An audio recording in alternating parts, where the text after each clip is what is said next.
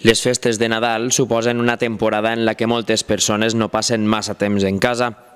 Una situació que els amics d'allò aliè esperen amb impaciència per a poder perpetrar delictes com els robatoris.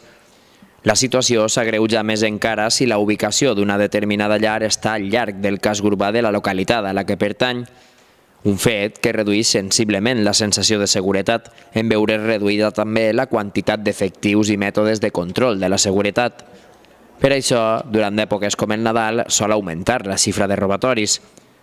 Una prova d'això ha tingut lloc a Castalla, on tot i no haver-se superat els índexs de delictes respecte a altres temporades, s'han produït almenys set robatoris en llars allunyades de la ciutat en Nadal. Ha sigut a la urbanització Castalla Internacional, on diverses llars han patit sostraccions que han creat un clima d'alarma inexistent de la zona fins la data.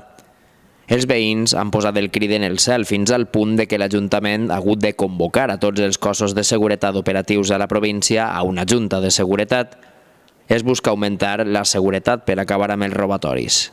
Es algo preocupante y en ese sentido hemos reunido a las fuerzas y cuerpos de seguridad del Estado, Guardia Civil, Policía Local, Policía Autonómica, así como vecinos afectados por estos robos recientes Hemos comparecido también los distintos portavoces de los grupos políticos para hacernos eco de ese gran problema que tenemos, que son los robos, asaltos a viviendas de nuestra vecindad. Se va a incrementar las medidas de control con la finalidad de conseguir que haya un descenso de estos robos y de estas entradas en viviendas que tanto preocupan a nuestros vecinos. Desde el Ayuntamiento de Castalla vamos a tomar aquellas medidas que legalmente estén en nuestra mano, por supuesto, para intentar dar tranquilidad a los vecinos, igual que eh, se va a incentivar y se va a intensificar las visitas y las medidas de vigilancia por parte de Guardia Civil, Policía Autonómica y Policía Local.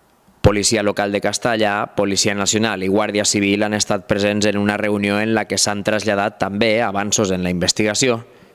Els efectius de seguretat segueixen la pista a persones i vehicles identificats per a determinar si tenen relació amb els robatoris o no. D'altra banda, l'Ajuntament ha plantejat dos mesures per a incrementar el nivell de seguretat a la capital de la Foia. La primera passa per contractar tres nous agents de policia local amb els que intensificar les patrulles a l'urbanització. La segona suposa la instal·lació de càmeres de seguretat amb la lectura de matrícules per a detectar moviments sospitosos, cosa que es durà a terme en els propers mesos.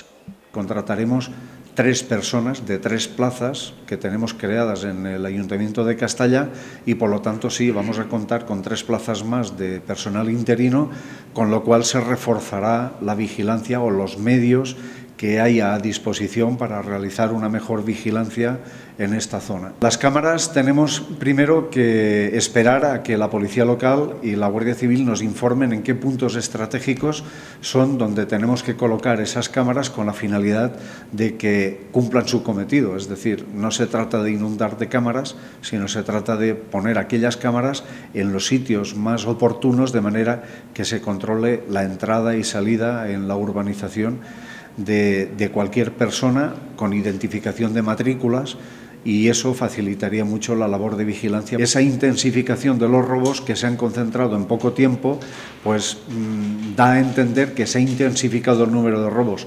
Estadísticamente nos dicen que estamos en niveles normales, pero aunque estemos en niveles normales que nos dicen a nosotros estadísticamente no nos conformamos con eso, vamos a actuar por supuesto. La situació que es dona a la urbanització Castalla Internacional ja ha tingut altres casos similars, per exemple, a la urbanització de Terol, a Tibi.